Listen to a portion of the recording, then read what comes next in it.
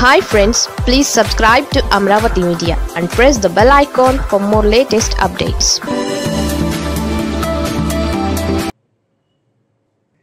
కొత్త అస్త్రాలు బయటికి తీసిన జగన్ కుప్పంలో చంద్రబాబుకు షాక్.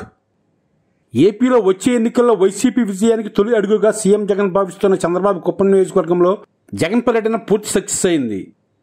కుప్పంలో చంద్రబాబును ఎలాగైనా ఓడించి తీరాలని పట్టుదల ప్రదర్శిస్తున్న జగన్ పలు సంక్షేమ పథకాలకు శంకుస్థాపనలు చేశారు. అనంతరం కుప్పంలో స్థానిక ఎమ్మెల్యే అయిన చంద్రబాబుపై తీవ్ర వ్యాఖ్యలు చేశారు.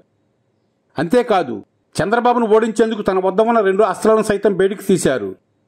ఈ రెండు అస్త్రాల కుప్పంలో చంద్రబాబుకు షాక్ ఇచ్చే పరిస్థితి కనిపిస్తోంది. చిత్తూరు జిల్లా కుప్పంలో జగన్ పర్యటన సందర్భంగా కీలక వ్యాఖ్యలు చేశారు. తనకు కంట్లో నలుసుగా మారిన స్థానిక ఎమ్మెల్యే టీడీపీ అధినేత చంద్రబాబును అక్కడ ఎలాగైనా ఓడించేందుకు కొత్త అస్త్రాలు బయటికి తీశారు.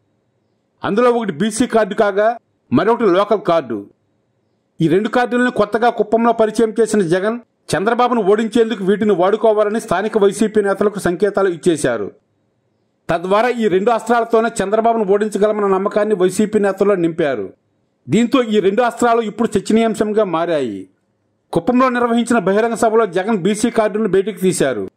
కుప్పంలో జనాభా పరంగా బీసీలు ఎక్కువగా ఉన్నారని ఇది చంద్రబాబు నియోజకవర్గం కాదని బీసీ నియోజకవర్గమని జగన్ తేల్చేశారు. తద్వారా బీసీలకే ఇక్కడ ఓటు వేయాలనే డిమాండ్ను తెరపైకి తెచ్చారు.